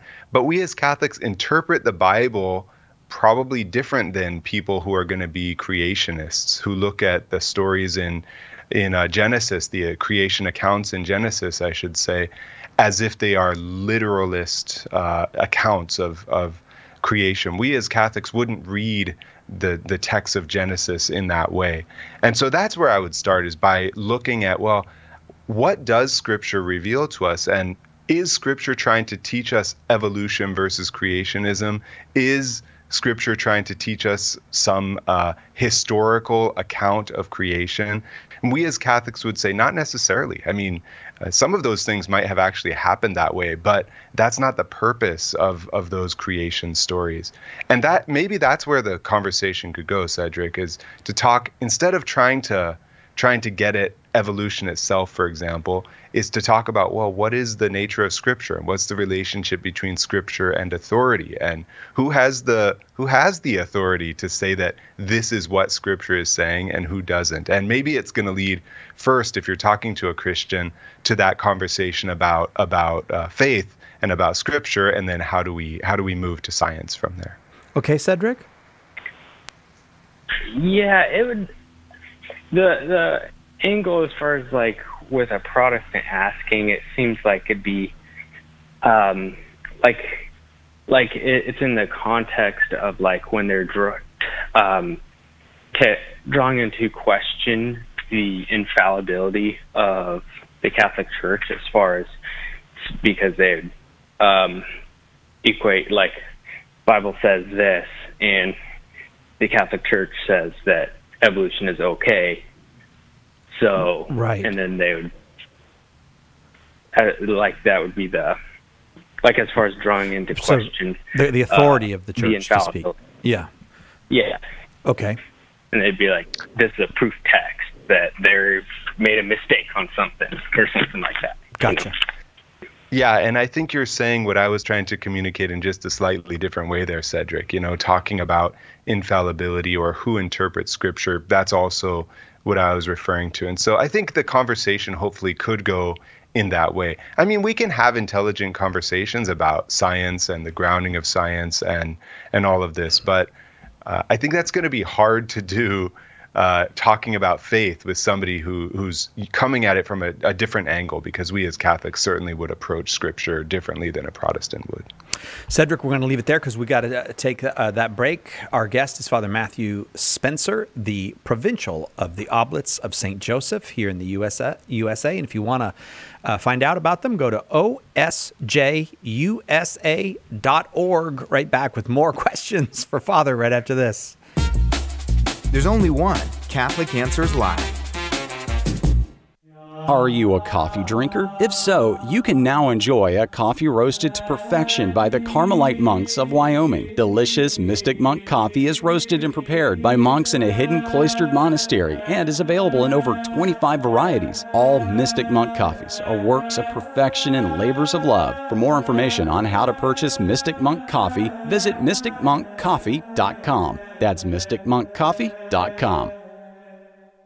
He was a scholar, a preacher, a Capuchin Franciscan, and a defender of Christendom. Matthew Bunson and the Doctors of the Church. St. Lawrence of Brindisi was one of the most respected preachers in the 17th century, but he also helped raise an army against the Ottoman Turks when they invaded Hungary in 1601. He led the troops to victory against the Turks, carrying only a crucifix. He was declared a Doctor of the Church in 1959. To find out more about the Doctors of the Church, visit EWTN.com and click on Catholicism.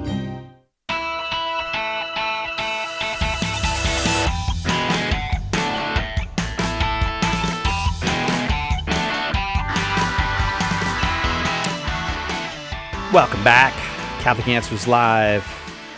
I am Cy Kellett, your host. And one of the great uh, benefits we've had over the years here at Catholic Answers is many, many good priests willing to come on and answer questions from orders such as the Jesuits and the Norbertines and the Franciscans, and uh, from uh, diocesan priests uh, as well, from diocese- dioceses all over the country.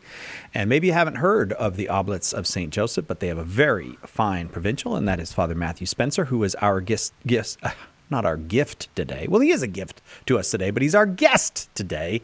Uh, and you're welcome to call and speak with him 888 318 7884. If you've got a question appropriate for a Catholic priest, it's Ask a Priest this hour on Catholic Answers Live. 888 318 7884. We're going to Bethany now in Washington, listening on the Catholic Answers Live app. Bethany, thanks for downloading the app onto your phone. Go ahead with your question for Father Matthew Spencer. Hi, hi, Father. Um, I had a question. Um, I've heard different things about divorce, whether that's a sin or not, and then I was wondering if it's okay for a person to date before an annulment. Okay, good questions. Thanks for thanks for asking them. Um, is it a sin to to divorce? Um, well, the, par- uh, the the Catechism uh, would would speak about divorce being a grave offense against natural law when uh, when you know when uh, when it's a rupture of a marriage that's supposed to keep going forward. Uh, I'm looking at paragraph 2384. Um, but we have to also recognize that the church would would say that there are times when divorce is is necessary, you know, for the health and safety of one of the spouses. For example, if if one spouse is uh, actively abusing the other spouse and and is is not going to treat that person fairly or even cause bodily harm to that person, that person does not have an obligation to subject themselves to to such terrible uh, treatment. And so the church would say in some cases a civil divorce can be acceptable, uh, can be accepted and maybe even necessary at times. But that doesn't change the fundamental nature of a sacramental marriage. So that's a, an important distinction that we make as a church, right? That there's a, a recognition by the state uh, on marriage, but sometimes the state will say that a marriage can be dissolved in the case of divorce when the church would say no that's you can't do that these people remain married so even if you change their their civil status it doesn't mean they can they can uh, they can turn away from from their commitment before others and believe it or not uh, bethany that also applies in cases where where there's uh, bad treatment from a spouse. It doesn't mean you stay with that person necessarily, but you you remain committed and you don't. You might even get a civil divorce from this person who's not treating you well, but uh, we have to remain faithful to our commitment to to want that person to get to heaven and to play a part in their vocation as their spouse. So um, I would say it's possible for divorce to be a sin, right? Because if somebody's trying to do their own thing, if they're abandoning their spouse, then that that separation and ultimate divorce could be gravely offensive to God.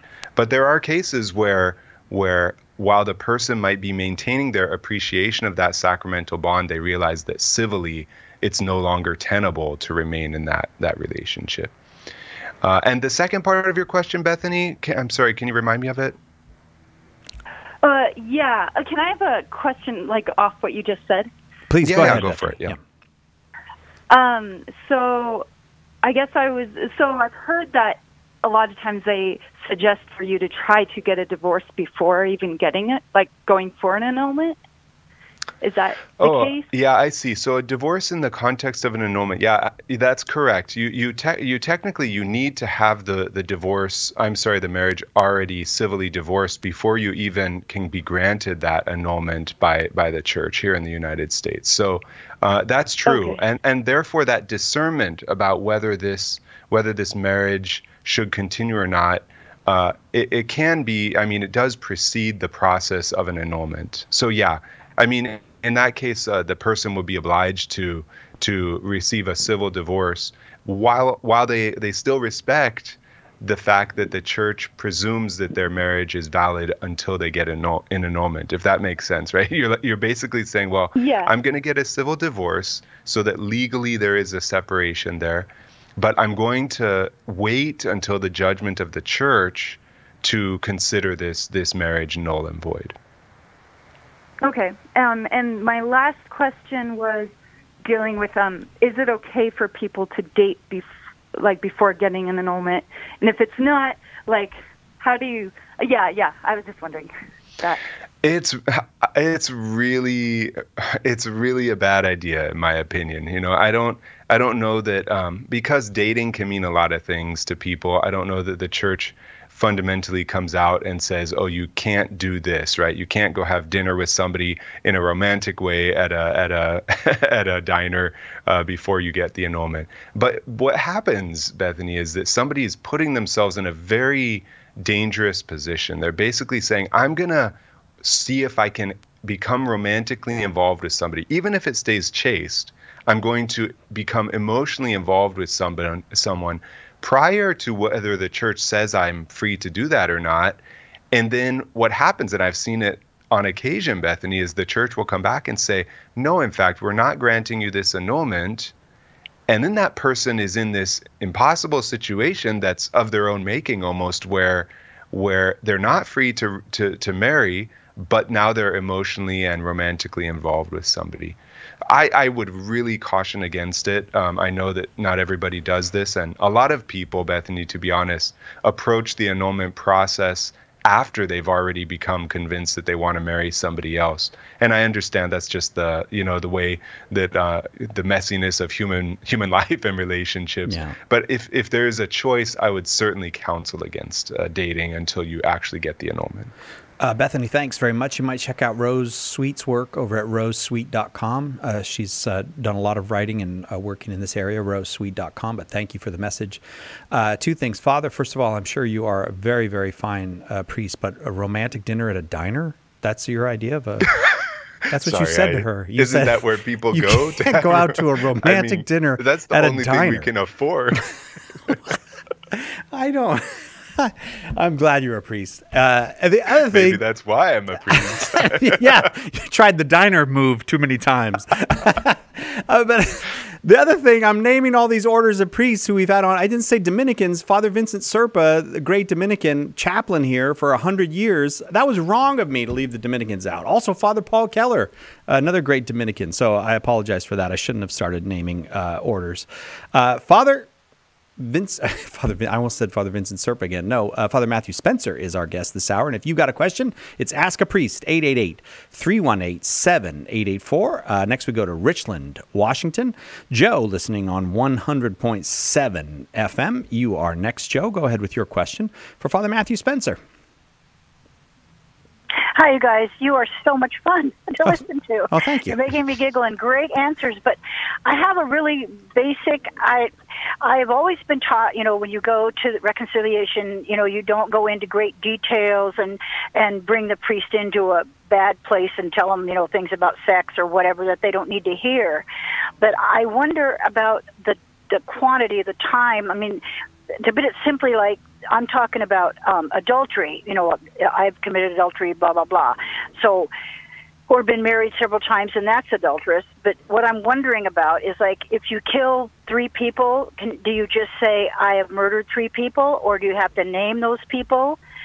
You know, because the older you get, I'm a little old lady now, and I think back about people. You know, it was it was the '60s. It was free love and fun and every once in a while a name will come into my head and I'll go, Oh, oh, I wonder if I should say that or think about that or can I just say I, I'm sorry, I am. You know, and there are some people that are dead. I'm old. A lot of people are dead that I can't go back and say I'm sorry and make up to it to them and but I want to make up to it, you know, for God, for my soul, you know. Okay.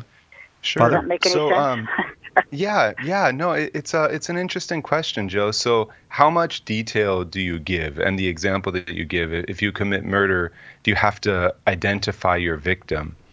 Um, I mean, I would say not not ordinarily, not necessarily. On the other hand, I could imagine circumstances where where the the victim's identity would change the gravity of the sin. So let's say uh, somebody went to confession and they said, "Oh, well, I killed somebody," um, and then they said, "Well, actually, it, it was the Pope." Um, those are very different. I mean, that that creates a very different situation. So if you if you inflict uh, violence upon the Pope, there is excommunication associated with that, for example. So I guess, Joe, theoretically, there are situations where I could imagine that it would be important to identify the victim of of the of the of the crime and of the sin. But uh, for the most part, in in that situation, I'd say it's probably not necessary.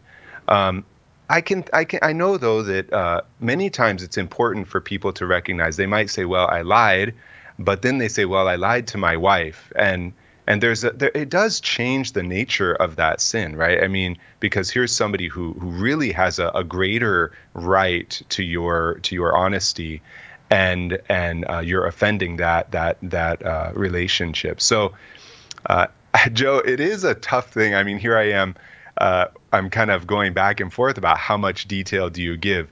Uh, usually, people give enough detail in confession. There are times where we might need to ask and say, well, you know, like somebody comes in and they says, well, I I hurt somebody. Okay, well, what does that mean, right? Did I did I really hurt them bodily? Did I speak ill about them to their face? Did I gossip about them? I mean, that means something very different depending on on the actual sin. And so the the priest might ask for more information. But for the most part, I think people tend to try and over deliver. So they'll say, well, I, you know, I want to tell you all my husband's sins. And in those cases, we say, no, no, no, just just stick to your details and, and the, those are the sins you're presenting. Joe, I hope that was helpful. You can probably hear the music. We've got to take this break. Father Matthew Spencer, our guest. It's Ask a Priest this hour, 888 318 7884.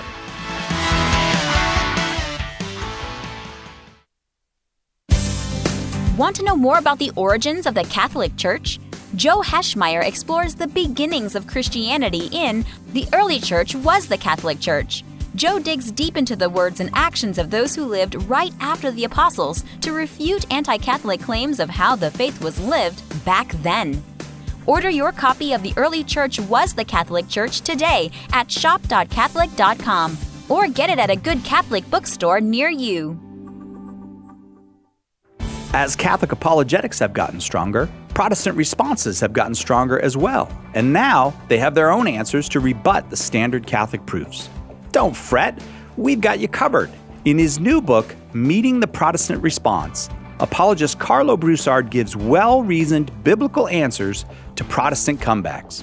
Order your copy of Meeting the Protestant Response today at shop.catholic.com or ask for it at a good Catholic bookstore near you. If you're not a Bible scholar, the full message of how the Sunday Mass readings fit together can be tough to comprehend. Apologist Karlo Broussard is here to help.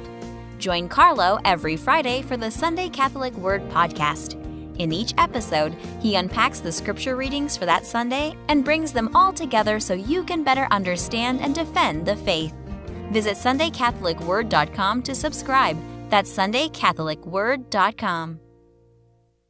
What if the voice of your deepest doubts about Catholicism rose up in the form of a human being and challenged you to defend your most foundational beliefs? That's the task apologist Trent Horn took upon himself in his new book, Devil's Advocate. A dialogue with his own best objections against the faith that he professes and defends. You can stand up against your doubts, and Trent will show you how. Pick up your copy of Devil's Advocate today at shop.catholic.com or at a good Catholic bookstore near you. Tomorrow on More to Life, difficult discussions. Are challenging conversations wearing you down? We'll help you navigate conflict gracefully. That's tomorrow on More to Life. Now back to Catholic Answers Live.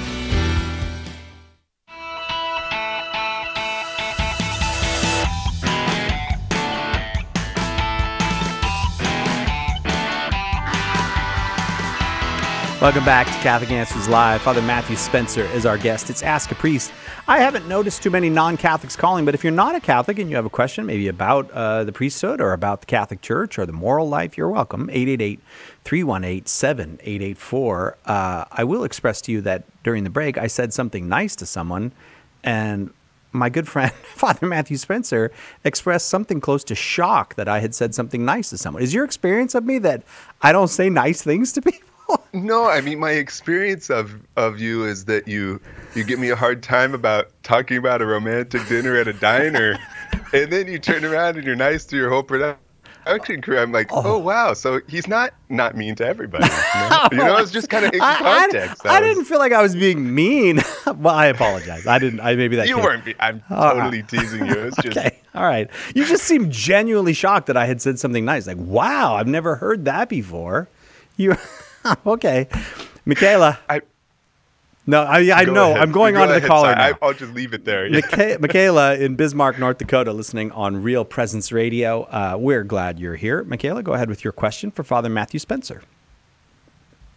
Hi. Um, I was just wondering how the laity can try and understand and make sense of priests and bishops who they might hear speaking out against the Pope's words or actions. Oh, mm. yeah.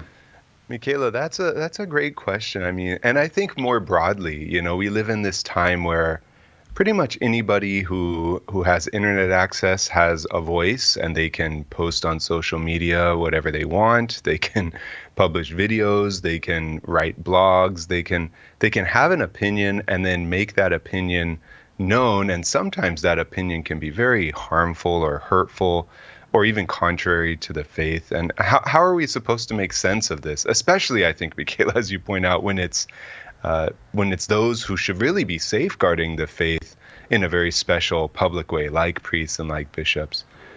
Uh, the way I look at it, Michaela, is that we're in a church that is that is wounded, right? I mean, the church is the body of Christ, and from certain perspective, she's she's perfect because she is incorporated into the life of her her head, Jesus Christ. But the church also has this human side where it's full of sinners, including me and including uh, each one of us here. And um, the way we understand this is that includes priests and bishops who who sometimes speak out in ways they shouldn't, who sometimes perhaps intend to to bring about good by addressing wrongs or or seeing what they think is needs to be corrected and then and then going public with that.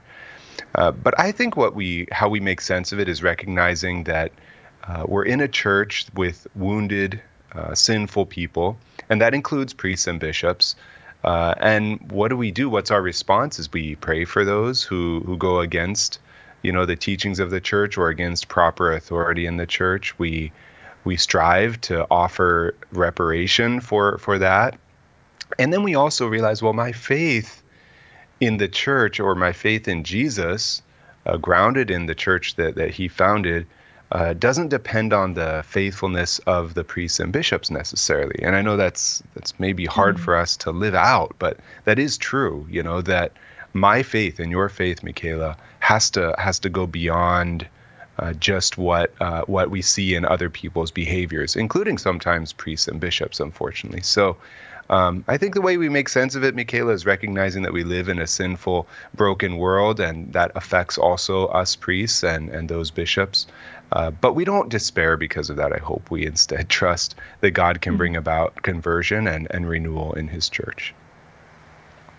Thank you. That was really helpful. Thank you, Thanks, uh, Michaela. Michaela. We haven't given away any books this hour, and I've got a little book called "The Words of Eternal Life: True Happiness and Where to Find It." That a lot of it's by Jimmy Akin. A lot of people have really been enjoying it. If you'd like a, a copy of that, we can mail it to Bismarck, North Dakota, and we'd be happy to. Uh, just hang on the line, and Edgar will get you, and we'll send you that book. Uh, am I going in order here? Yes, I think I'm going in order. Next, Aaron in Portland, Oregon, uh, listening on 88.3 FM. Aaron, uh, thank you so much for waiting. Go ahead with your question for Father Matthew Spencer. Thank you. Thank you, uh, Father Spencer. Thank you for taking my call. Um, sure. Out here in Portland, you know, there's been a lot of lot of turmoil. Um, we live in Portland. We are three boys attend a Catholic school where during the pandemic, you know, the likes of the unvaccinated were not allowed in the school.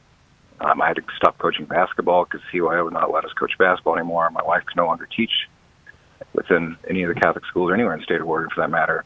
And yet, when we go over to say Eastern Oregon, the Diocese of Baker outside of Portland, the, the, the Bishop Bishop Cary out there was very open, very welcoming, and would accept my wife's employment and would allow me to teach and allow us to volunteer in the schools. And you know, it's just been a struggle for my wife and I who have grown, you know, more firm in, in, our faith, and it's been beautiful in that way. Um, and I guess my, my question with the screeners kind of morphed a little bit in that I'm, it's just hard. You know, we both we, we study from the same Bible, we read the same Bible, we worship the same Bible, and yet there's this this total dichotomy and interpretation and the treatment of other people, and it makes it a very hard place to live and to live out your faith here in Portland. Um, and I, I guess with that, there's been a lot of my wife and I have kind of turned on each other, you know, unfortunately, and there's been a lot of mm. fighting and a lot of disrespect, and and I'm I want nothing more than my marriage to be successful and for her, for my wife to feel loved. Um, but she's refusing marriage counseling until I get help, until I heal myself. I think she only sees me as being the problem, and I don't know how to bridge that. You know, we both need to go together. Um, hmm. okay. She doesn't want to talk about it. Father. Sure. Well, Aaron, uh, thanks for thanks for calling. And I think whenever we receive calls like this, I, I hope you know that um, you have many many listeners who will throw up a prayer for you and for your wife right now that, that there might be healing and reconciliation and and uh, renewal in your own marriage. Um, you know, it might be that that um, you have to do things together, but sometimes it does mean that we have to start with with ourselves and start with with what we can, and maybe that doesn't mean like that you need you need some deep counseling for deep-seated issues or or to address and to address things in the marriage alone. But sometimes that that can be the starting point aaron for for showing your wife that okay if if that's how you see this i want to show you that i'm serious about this right? So I, I guess what i'm saying is first of all i wouldn't just say well we have to do this together. I'm not just going to work on this on my own even though my wife thinks that's all that that's needed and the other the other reason for that, Aaron, is that uh, sometimes that can help you to learn to approach your wife in a new, creative way. And uh, you know, you might be going to see somebody or talk to somebody uh, for what your wife thinks are issues that you have. Uh, when really what's happening is that person, your counselor, will be helping you communicate more effectively to to your wife. So um, I mean, I think whenever there's there's distance that happens between husband and wife, uh, we have to get back to basics, right? We have to get back to communication, to to love, and how do you show that you love her is by is by going the extra mile, you know, by by by making the extra effort to to overcome these challenges. And it might be that that um it's it's not on you at all, right? It might be that that uh, it's really about what's between you, or maybe the issues your wife is going through. But to get to that point, sometimes what it means is we have to show uh, our love by by really um, you know going going further than than what we think would be ultimately necessary, laying down our life for the other. Uh, I, mean, in addition to that, Aaron, what I'd say is uh, it's important to to work at how how well you're communicating that love to your wife and the way that you think your love is being expressed to your wife. Uh, might not be received in that same way. And that's what what counseling sometimes helps with either individual or marriage counseling is bridging that difference of communication either styles or or approaches. Uh, so sometimes the the ability to talk to somebody uh, on our own or with uh, with uh, with our spouse really helps us to to be able to communicate better. So believe it or not i just say maybe maybe you have to take your wife's advice and uh, and it's may or may not be because she's right, but rather because if your wife isn't willing to go to counseling, what else are you going to do, right? How else are you going to yeah. work on that marriage except changing yourself? You obviously can't change anybody else. You can only work on yourself, and maybe maybe that's what what where you need to start right now. Aaron, I hope that that's helpful uh, for you. That, uh, that uh, it's a wonderful question. I'm glad you called and asked it. I do have full lines, and I got to take a break, so we'll do that, and then we'll come back with more. Ask a priest with Father Matthew Spencer. It's all about the truth. Catholic Answers Live. Underwriting for Catholic Answers Live is provided by Real Estate for Life. Real Estate for Life connects home buyers and sellers to real estate agents while supporting pro life organizations. On the web at realestateforlife.org. It's really awe inspiring to know that Take Two with Jerry and Debbie has the impact that it does. We know from what our listeners share on the air, but also from corresponding with them outside of the show via email and social media. There's no better feeling than knowing you've helped someone, maybe many people at a time, work through various situations and to more clearly see God's purpose and plan for their lives. Take Two with Jerry and Debbie tomorrow, noon Eastern, on EWTN Radio. Do you love sharing the gospel and want to learn to be more effective? Join the St. Paul Street Evangelization online School of Evangelization. You will learn to build bridges of trust and make disciples by befriending strangers, proclaiming the gospel, inviting people to the church, and praying with others. We'll ask for a pledge of financial support, but if you are unable to give, we'll give you a membership at no cost. Find out more and get involved today at streetevangelization.com. That's streetevangelization.com.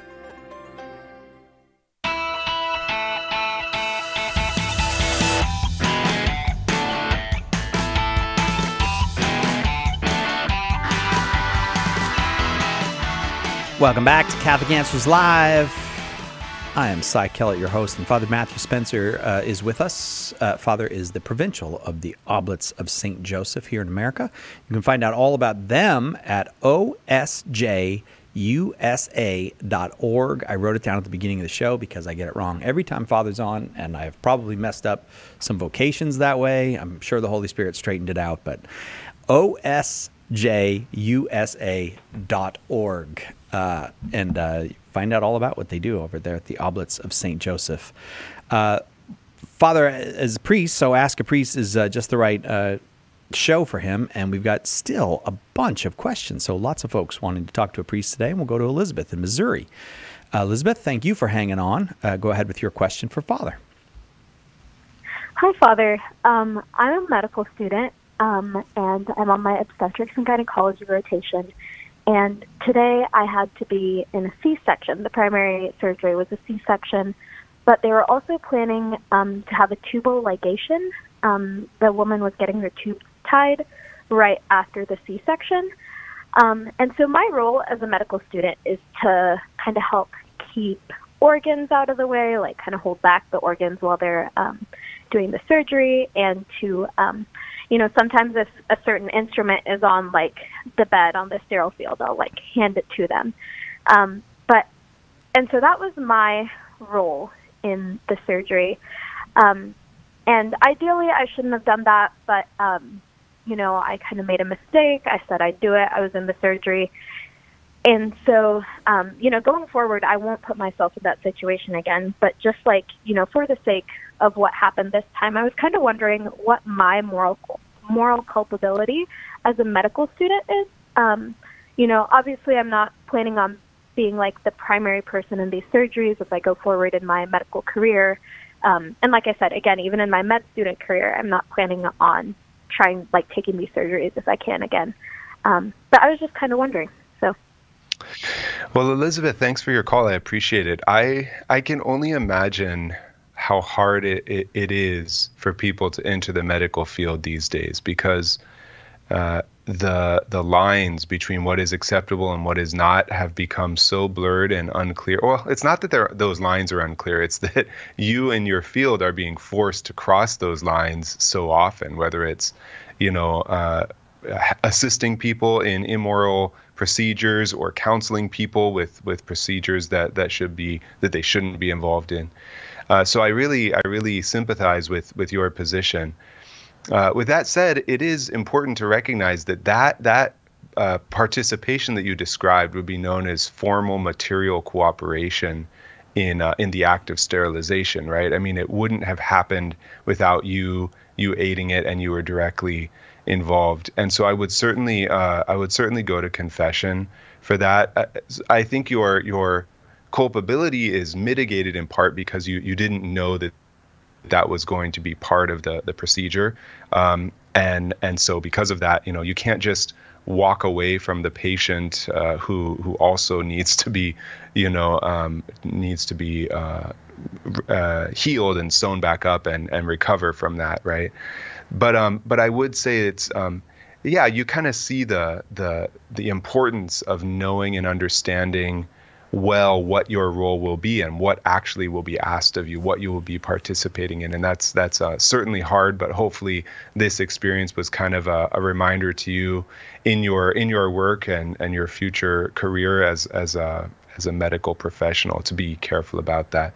Uh, Elizabeth, I'm thinking back to my um, one of my professors in the seminary is a Benedictine monk. His name is Father Luke Dysinger, who was a, he was a, just he's an amazing priest now, but prior to being a priest, he was a, a medical a medical a doctor, and he talks about how in his own um, you know experience and training, they would they would ask women who were on on the you know table after having given birth hey, do you want us to sterilize you because you know we already have. It will be much easier now now that we either are either are in the middle of a C-section or not, and um, and of course people in such a vulnerable position. What are they? How are they going to answer? They're in so much pain and they're you know being they're overwhelmed with this question. Uh, I don't know if that's still done or not, but um, hopefully not.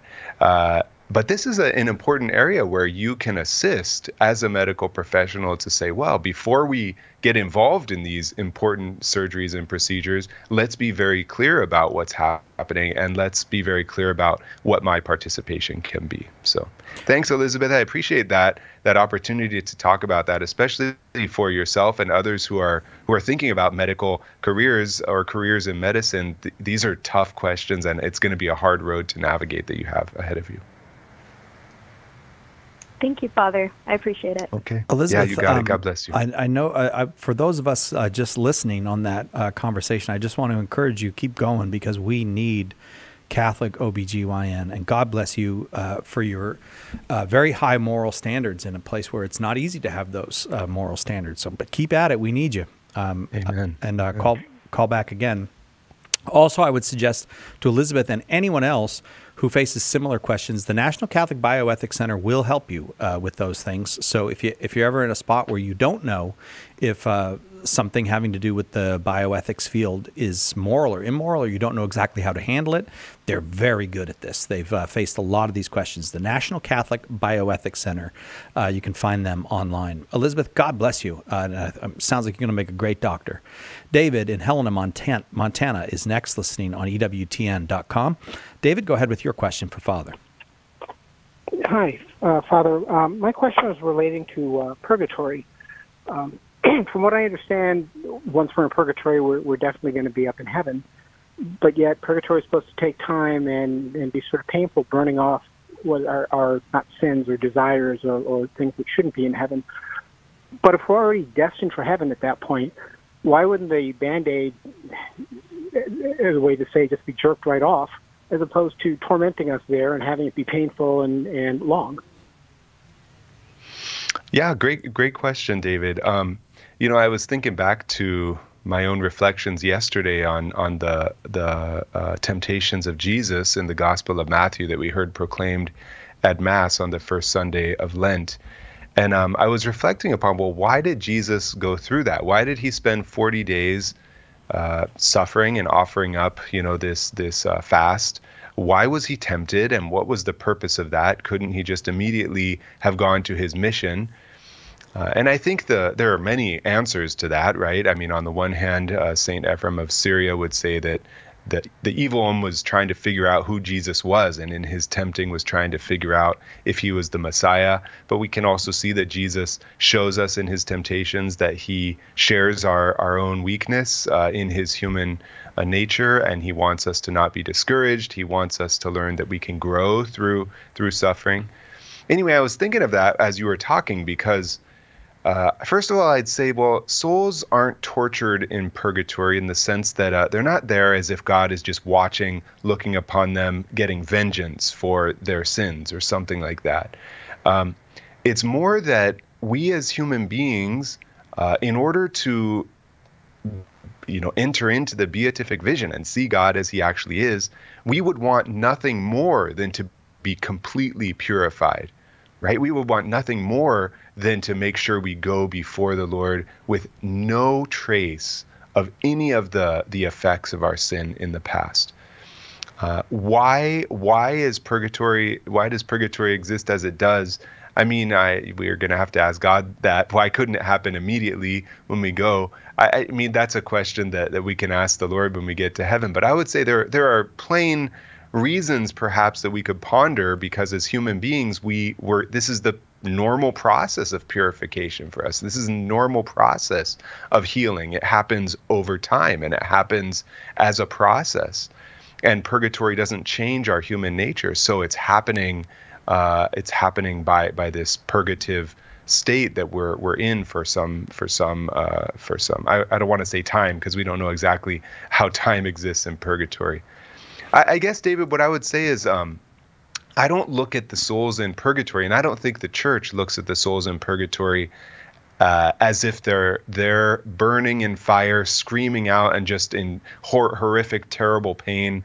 Uh, I, I, look and I think it's probably, in fact, I've heard many uh, priests mention, uh, hey, this is something I want to go through. I, I know how badly I've sinned. I know how poorly I've done here on earth, and I want to be purified. I would much rather make sure that I go through this purgation process and experience this great cleansing in order to see the face of God. And as you rightly say, David, once we reach purgatory, we are assured of heaven, thanks be to God. So we're going to have all of eternity to enjoy the the the beatific vision. So a little more time preparing for that, I think, is is well worth it.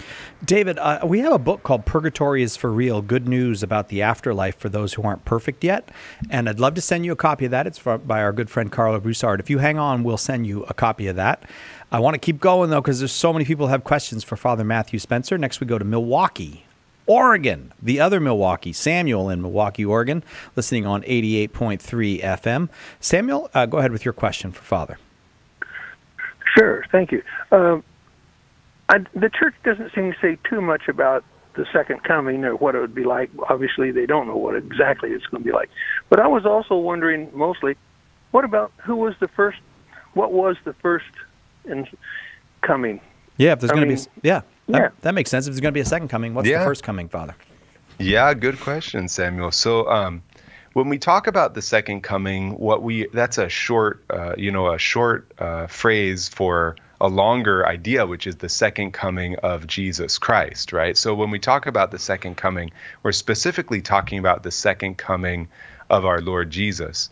His first coming was when he took on flesh in the womb of the Virgin Mary, and when he was born and walked on on the earth uh, 2,000 years ago. So the first coming of Jesus was his initial entry into time, his incarnation uh, as Jesus Christ. And, and his second coming, he will come in glory, as, as we know. So that's what that refers to, Samuel. Oh, okay. I kind of thought that it might be something else. Like when Jesus uh, he was crucified and he left this planet, shall we say, and then he came back and he was with the apostles and that for a while. And finally, he told the apostles, "I have to leave," but he says, "I'm going to send, well, you know, what we would call the Holy Spirit." And and they say, "Oh no, no, stay, stay." And he says, "No, I can't stay because if I stay, I can't. The Holy Spirit can't come." So to me, I'm kind of thinking the coming of the whole because the, at that time the apostles were kind of uh, I'll just say a ragtag bunch of guys that really didn't know they didn't they weren't the Holy Spirit hadn't come to them and they didn't know what they were going to do and he, Jesus was leaving I kind of think in my mind I think the first coming wasn't exactly Jesus the first coming was the Holy Spirit coming to the apostles I see. I mean, it, it's. I can understand your logic there, uh, Samuel, and I, I can appreciate where you're going with that. But uh, it's not traditionally what the church refers to when they're talking about the first coming. Uh, Samuel, thanks very much. I'm going to go quick. Jocelyn in Omaha, Nebraska, listening on Spirit Catholic Radio. Jocelyn, if you'd like an answer, you got to be quick with this question. No, Jocelyn? All right. All right, Jocelyn. Uh, but we'll give us a call tomorrow. We got we got an open forum. As a matter of fact, anybody who's on the line, if you want to call uh, tomorrow, uh, we'll be happy to get you an answer. But we're coming down to the end right now. Our guest is Father Matthew Spencer. Father is the provincial of the Oblates of St. Joseph here in the United States. You can find out about them at osjusa.org. I can't stop saying it because I wrote it down. I'm super proud of myself for getting it right. Finally, uh, Father's like finally coming back time and Nice time again. it's paying Cy. off. Right on. Yeah, I can I can learn. I know there's some suspicion that I can't, but I can. I can learn. Uh, the uh, the oblates are you mostly on the west coast, east coast? Where are you? All around the U.S. We're we're in California and Pennsylvania. Yeah, so in those two states alone, but we're kind of spread throughout California and then in northeastern Pennsylvania and the Diocese of Scranton. So there are 25 of us in the U.S. So we're we're a pretty small group of guys, Cy, here, Yeah. but we're doing our doing our part, you know, to build up the kingdom and share the gospel. Amen. Amen. I know you are. Uh, and uh, but how many of them? How many of you are there in Italy? Because that's where you were founded. Oh yeah, I mean around the world there are about 650 of us, I think. Um, so in Italy, yeah, you ask me these statistical questions. I don't have those numbers right, at my. All right, more than fingertips, you know. 25. We're going to go with more, More, than, than 25. 20. I'd say probably about 50 if I'd have to guess. Father, uh, may we and our listeners have your blessing before we go. Absolutely. Heavenly Father, I ask you to look upon all of our listeners with great devotion, with great joy and compassion. Help them to experience your presence during this Lenten season. May Almighty God bless you, the Father, and the Son, and the Holy Spirit. Amen. Uh, Father, I hope we'll do this a lot more times this year. It's a pleasure. We- Thanks a lot, Cy. Really fun. All right, good. Maybe we can get you on more regularly. I hope we will. Uh, coming up tomorrow, two hours, open forum. Tim Staples will be with us. We'll see you then, God willing, right here on Catholic Answers Live.